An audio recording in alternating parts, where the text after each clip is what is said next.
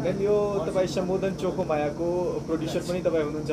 होइन फेरि यो कथा पनि तपाईँकै उप तपाईँहरूको अब छ नि तपाईँको हस्बेन्ड र तपाईँको माथि चाहिँ साँच साँच्चीको कथा छ होइन? अब तपाईँले यो मुभीकोबाट दर्शकको दर्शकहरूलाई तपाईँले चाहिँ के भन्नु चाहिन्छ आफ्नो मुभीको लागि? अब तपाईँहरू हाम्रो न्युजको माध्यमले के अब सु यो दिनु चाहिन्छ? है दर्शकबिनलाई अब तपाईँ भन्नुहोस् अलिकति।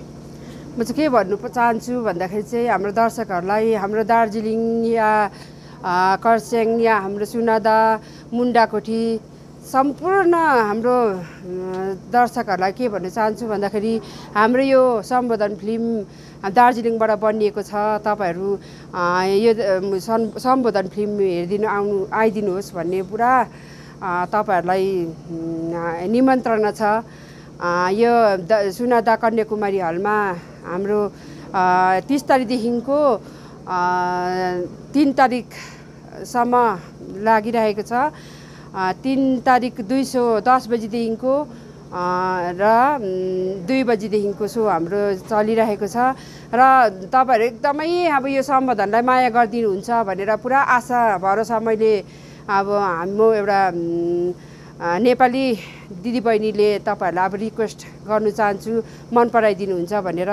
र एकदमै तपाईँहरू आइदिनुहोस् हाम्रो यो सम्बोधन परिवारलाई माया गरिदिनुहोस् हाम्रो यो नेपाली दाजुभाइलाई अघि बढाइदिनुहुन्छ भनेर तपाईँहरूलाई अब पुरा आशा साँचेको छौँ हामीले।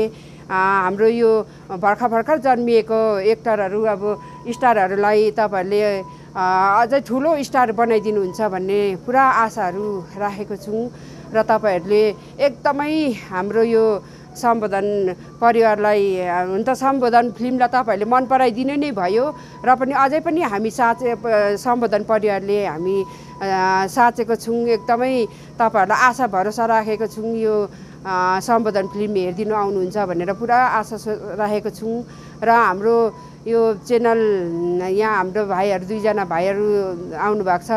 उहाँहरूलाई उहाँहरूले हाम्रो यो सम्बोधन परिवारलाई यसरी हामीलाई टाइम निकालेर हामीले हाम्रो यो सम्बोधन फिल्म देखाएको जग्गामा आएर उहाँहरूले हाम्रो इन्टरभ्यूहरू लिएकोमा पनि उहाँ दुईजना भाइलाई धेरै धेरै धन्यवाद दिन चाहन्छु।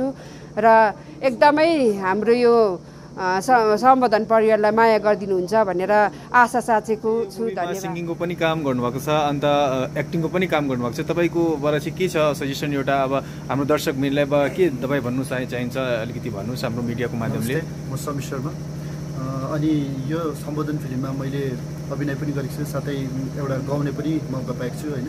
र म चाहिँ सबैलाई यो यो च्यानलबाट यो भन्न चाहन्छु कि हाम्रो जति पनि लोकल आर्टिस्ट छ होइन उहाँहरूले उहाँहरूलाई सबैले तपाईँहरूले माया गर्नुहोस्। हामीलाई तपाईँहरूको मायाको खाँचो छ सपोर्टको खाँचो छ तपाईँहरूको सपोर्ट चाहिन्छ हामीलाई सपोर्ट गरिदिनुहोस् होइन। हाम्रो जति यो सानो कोसिसलाई तपाईँहरूले आएर हेरिदिनुहोस् माया गरिदिनुहोस्। अनि यदि यति नै छ मेरो भन्न तपाईँ चाहिँ अब एक्टिङको धेरैवटा एक्टिङ यसमा चाहिँ यो प्रड्युस गर्नुभएको छ यो मुभीतिर होइन? अब त्यसमा चाहिँ तपाईँ के भन्नु चाहिन्छ यो मुभीको बारेमा? एक दुई अब स्टेप हुन्छ तपाईँको पनि होला सायद होइन? के छ तपाईँको भनाइ छ तपाईँको अब दर्शकहरूको लागि? विशेष गरेर सबैलाई नमस् नमस्कार है। म एज अ कलाकार है जुन चाहिँ हामीले यो पिक्चर हामीले बनाएको छौँ यहाँ चाहिँ म पनि एउटा को प्रड्युसर भएर आएको छु। म मात्रै होइन मेरो साथी छ छेवाङ होइन? जो हाम्रो याङलङ प्रोडक्सन छ त्यसको चाहिँ हामी को हो। यो पिक्चरको चाहिँ स्पेसली अनि हाम्रो चाहिँ के छ भन्दाखेरि हामी एउटा गाउँको हो हामी कमान बस्तीको होइन। हामी स्पेसली हामी दार्जिलिङको भन्दाखेरि चियाबारीको पर्छौँ है। अनि हाम्रो सोच के छ भन्दाखेरि हाम्रो कलाकारहरूले ठुल्ठुलो स्टेज पाउँदैन होइन। पाएको छैन कतिवटा जग्गामा स्ट्रगल गर्नुपर्छ र हामीले चाहिँ सोचेको छौँ कि यो एउटा सानो सानो स्टेजबाट चाहिँ हामी हाम्रो कलाकारहरूलाई चाहिँ एउटा जग्गामा ल्याउने एउटा प्लेटफर्ममा ल्याएर चाहिँ उहाँहरूलाई चाहिँ हामीले दर्शक अगाडि चाहिँ पस्किनु खोजेको छौँ होइन? कि ताकि उहाँ जस्तो अब हाम्रो भाइ समीर छ उहाँ नयाँ हाम्रो कलाकार छ यसमा अब मेन एक्टर भनौँ न पनि होइन? उहाँ पनि आउनुभएको छ। त्यसरी हाम्रो उपमा छ अनि शीतलमित बहिनीहरू। उनीहरू चाहिँ नयाँ अब कलाकारहरू छ र उहाँहरूलाई चाहिँ हामीले अगाडि ल्याएको छौँ है? ताकि उहाँको एक्टिङ हेरिदिनुहोस् अनि भविष्यमा उहाँहरूको काम मन पराइदिनुहोस् होइन? यही नै हो अब हामी आशा यही गर्छौँ। तपाईँहरू आइदिनुहोस् स्टे मतलब हलसम्म आइदिनुहोस् पाउ कष्ट गरिदिनुहोस् होइन? अनि आएर हेरिदिनुहोस् मन पराइदिनुहोस्। मन परेन भने पनि तपाईँले खुल्लासँगले भनिदिनुहोस् कहाँ कहाँ भुल भएको छ है। भुल भएको छ भने त्यो बताइदिनुहोस् किनभने हामी सिक्ने हो। हामी त्यसलाई सुधार्ने हामी कोसिस पनि गर्छौँ है। यही नै छ मेरो भनाइ चाहिँ।